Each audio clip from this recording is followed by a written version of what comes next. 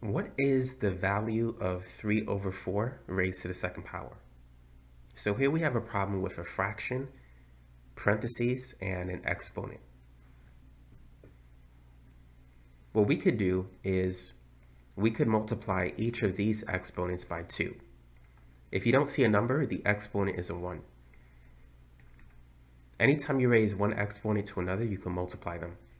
So this is 3 squared over 4 squared. 3 squared is 3 times 3. 4 squared is 4 times 4. 3 times 3 is 9. 4 times 4 is 16. And so the answer is 9 over 16.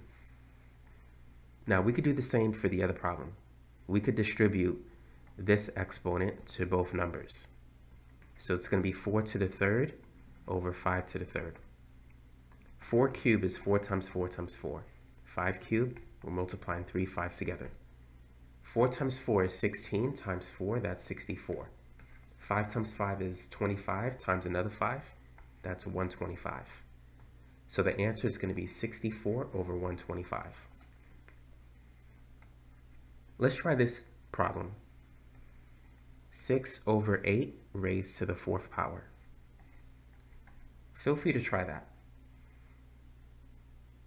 Now, for this problem, notice that 6 and 8, they're both multiples of 2, which means you could simplify this fraction. It's better to simplify the fraction before raising it to the fourth power. 6 is 3 times 2, 8 is 4 times 2, so you could cancel a 2. 6 over 8 is the same as 3 over 4.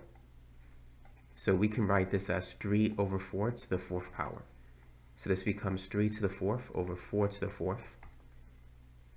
3 to the fourth, we're multiplying 4 threes together.